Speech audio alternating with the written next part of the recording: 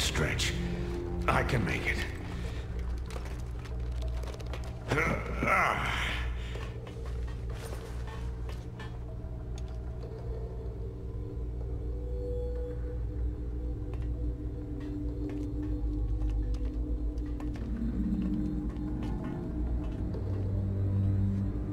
Smart guy. But I'll take a shield nurse over him any day. So how are you feeling? How does it look like I'm feeling?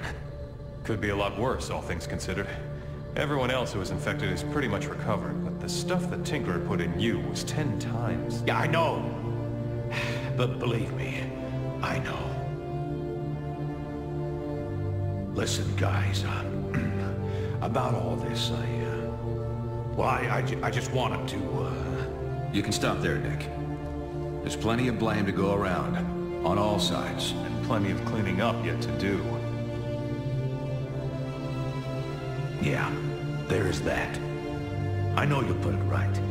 Get things back to where they used to be. I'm not sure things will ever be quite the same as they used to be. No. But that doesn't mean they can't be good again.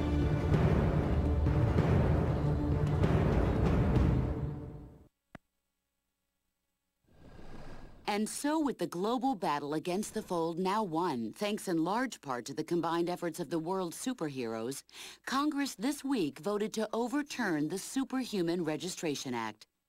Additionally, all members of the anti-registration movement have been granted full amnesty by the president.